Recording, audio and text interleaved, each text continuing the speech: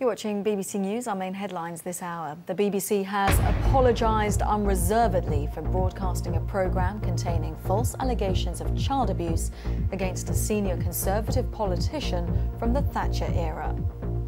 The director of the CIA, David Petraeus, has resigned after admitting to an extramarital affair.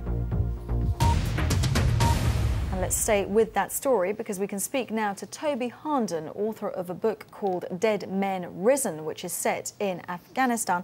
Uh, Toby, you actually met General Petraeus.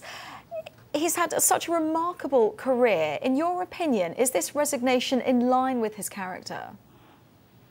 Well, you're right. I mean, I first met him in 2003 in Iraq, um, and I interviewed him with other journalists in um, 2010, two years ago, in in Afghanistan and um, he was always the sort of figure that had, you know, future president or certainly future greatness um, written all over him. Um, and the news today has been an absolute bombshell, and I think everyone's reaction would be that no, this is not in character, and somebody who seems so self-disciplined and so focused, um, and and has given so much for his country to um, probably the detriment of his personal life. It, it, it's really it's really one of those pieces of news that are, are, are truly shocking. And what do you make of the timing? Because not only is it just a few days after the election, but it also comes before the general was actually due to testify at a hearing on the deaths of the US personnel who were killed in Benghazi.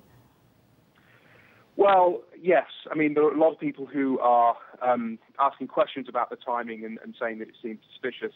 And one um, sort of odd aspect of this is General Petraeus has, has, indicated apparently that he will not testify before Congress uh, next week um, in hearings about Benghazi, uh, which he, he, was planning to do. It will be now his, his deputy and the, the, new acting director, Mike Morell, who will, who will do that. But I mean, from, from what I can gather, um, this is this is something that came up separately from, from Benghazi. It was uh, an FBI investigation that, that, that uncovered um, details of a possible affair, and and, um, and things un- unfolded from that. So it could be a coincidence, but obviously there are many people in politics with good reason who, who are sceptical about coincidences. And do we know why he was being investigated, or what, or what how how this affair was uncovered? Just give us explain us more about that. Well, it's uh, it's all very hazy at the moment, as you would expect with with, with something like this, um, and it's, it's happened so um, very recently. Um, but what I gather is that the FBI was conducting an investigation into a subject unrelated to um, General Petraeus, and, in fact unrelated to the the, the woman he's um, uh, supposedly had the affair with.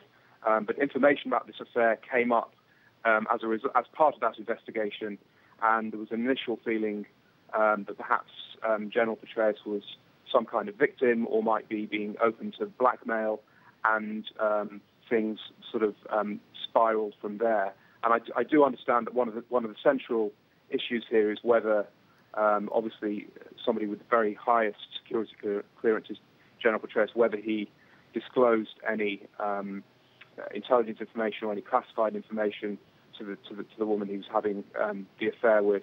And uh, I gather that the FBI is is investigating that currently. Okay, Toby Harnden, we have to leave it there. Thank you very much for speaking to us.